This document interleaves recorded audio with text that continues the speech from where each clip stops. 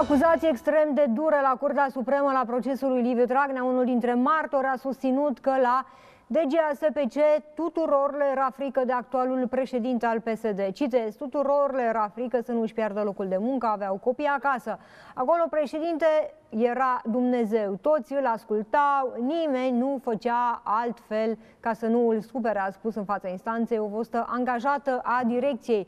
Roxana Ciucă a asistat la această mărturie. Roxana, pare că această mărturie întărește oarecum acuzațiile procurorilor DNA în acest dosar.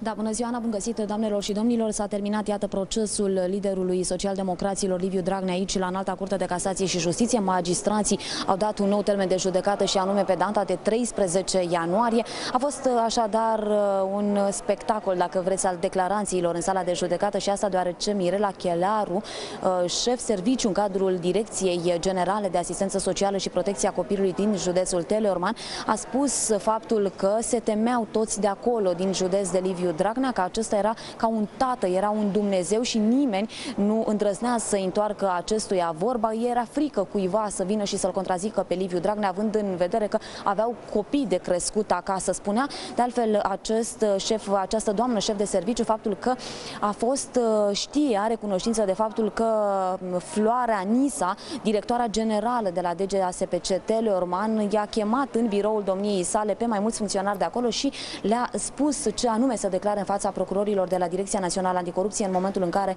anchetatorii, iată, au intrat pe fir. Liviu Dragnea nu s-a prezentat așadar la termenul uh, de astăzi. Vedem dacă va veni mâine sau nu va veni, pentru că mâine apărătorii vor depune contestația împotriva ridicării sechestrului din dosarul Teldru.